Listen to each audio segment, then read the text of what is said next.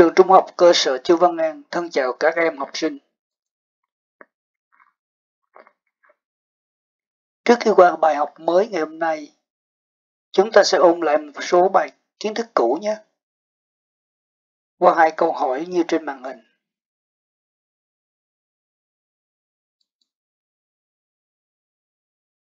Muối carbonate chia thành hai loại, đó là muối trung hòa và muối bicarbonate. Xét về tính chất khoa học, nó có đủ các tính chất khoa học của muối và các phản ứng minh họa.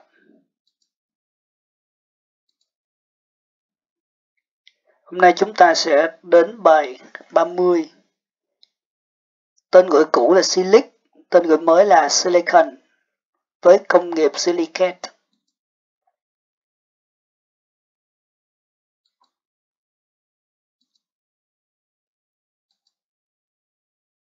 Các em ghi nhận lại nhé. Trước hết, chúng ta sẽ tìm hiểu về silicon.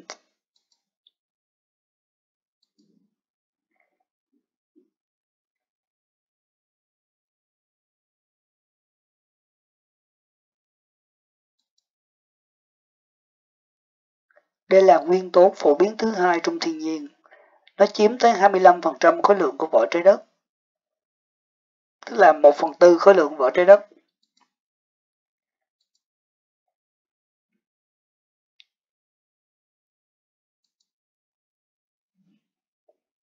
Trong thiên nhiên, SI tồn tại dưới dạng hợp chất như là cát trắng, cao lanh, đất sét. Nó không tồn tại dạng đơn chất các em nhé.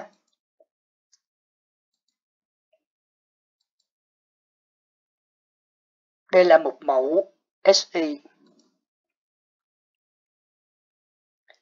Silicon là chất rắn màu xám, khó nóng chảy, có vẻ sáng của kim loại, dẫn điện kém. Mặc dù nó là phi kim, nhưng em thấy nó có vẻ sáng kim loại đấy.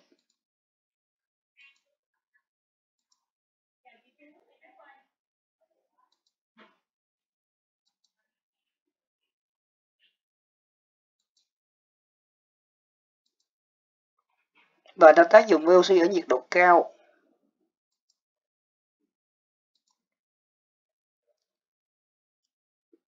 Chúng ta sẽ tìm hiểu hợp chất quan trọng của silicon, đó là silicon dioxide, SiO2. Đây là một acidic oxide. Vậy tính chất hóa học chung của acidic oxide là gì? Có thể tác dụng với nước để tạo thành acid, tác dụng với các dung dịch base tạo muối và nước, tác dụng với các basic oxide tan để tạo muối, Thế đối với SEO2 thì sao? Nó có thể tác dụng với kiềm ở nhiệt độ cao. Tác dụng với các basic oxide cũng ở nhiệt độ cao. Nhưng lưu ý, SiO2 không tác dụng với nước. Nó là thành phần chính của thạch anh, cát trắng nên không tan trong nước đâu nhé.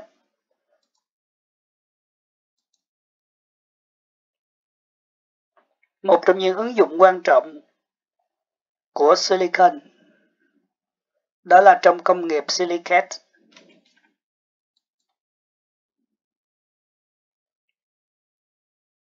Thế công nghiệp silicate sản xuất gì? Sản xuất gốm sứ, xi măng và thủy tinh.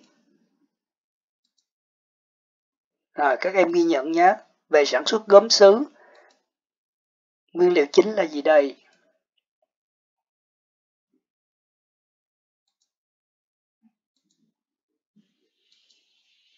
Có những công đoạn nào trong quá trình xảy ra? Các em tham khảo trong sách giáo khoa nhé.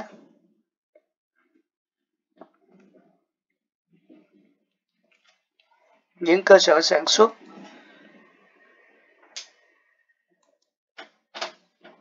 Và đây là các sản phẩm gốm sứ.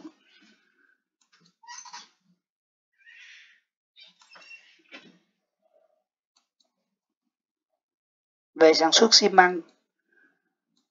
Nguyên liệu chính là đất sét và đá vôi.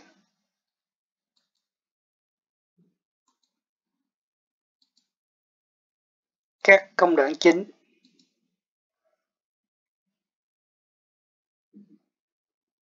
Người ta sẽ nghiền nhỏ hỗn hợp đá vôi và đất sét, rồi trộn với cát và nước thành dạng bùn.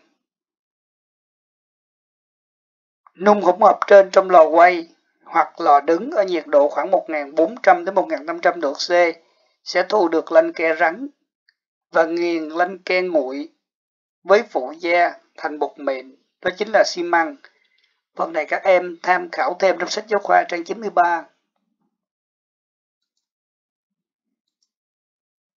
Các cơ sở sản xuất xi măng ở nước ta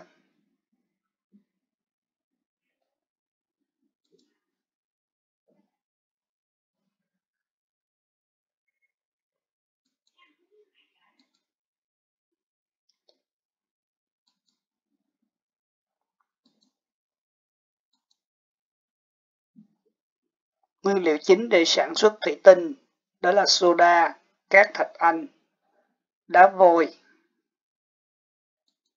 Người ta sản xuất bằng cách nào?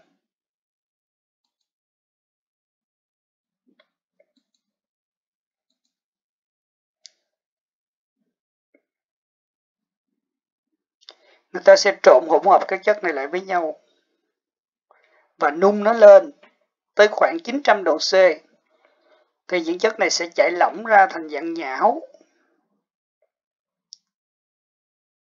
Làm nguội từ từ thủy tinh dẻo, ép thổi thủy tinh dẻo thành các đồ vật.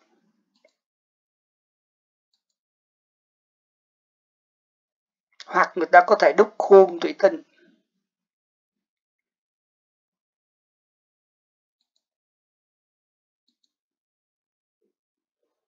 Ở nước ta có các cơ sở sản xuất chính như là nhà máy thủy tinh ở Hà Nội, Hải Phòng, Bắc Ninh.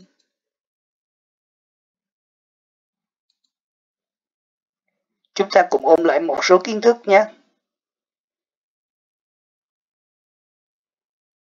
Các em chọn đáp án nào? Ờ, các em nhớ là silicon không tồn tại ở dạng đơn chất.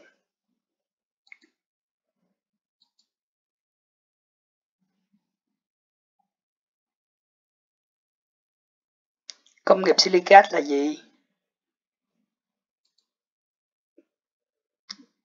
Đó là sản xuất đồ gốm, xi măng, thủy tinh.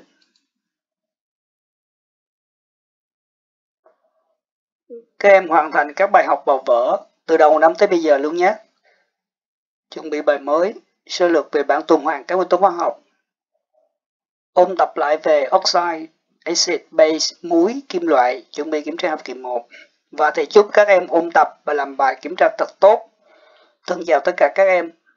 Hẹn gặp lại các em ở những bài sau.